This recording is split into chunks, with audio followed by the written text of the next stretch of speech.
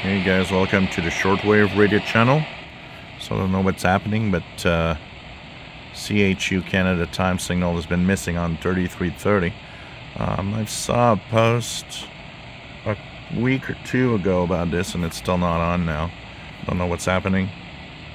Uh, so 3330 is off, but I did hear 7850. We are hearing right now.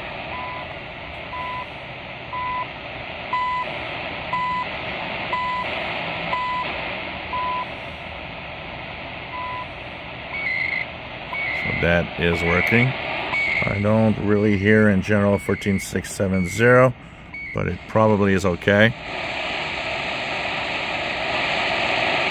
I can't attest since I don't hear the 14 uh, 670 in general, but 7850 is on. Canada, coordinated universal time, one hour, 34 minutes.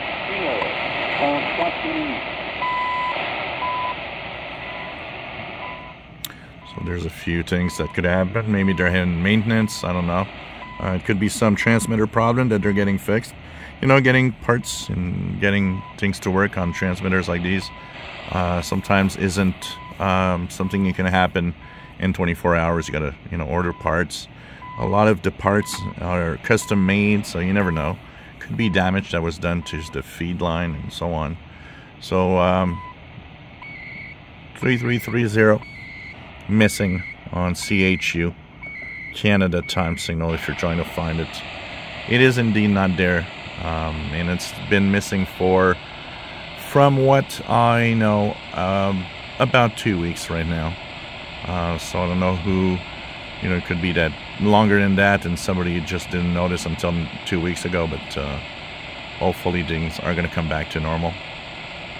If you enjoy my videos, please subscribe, give us thumbs up. Thank you for watching.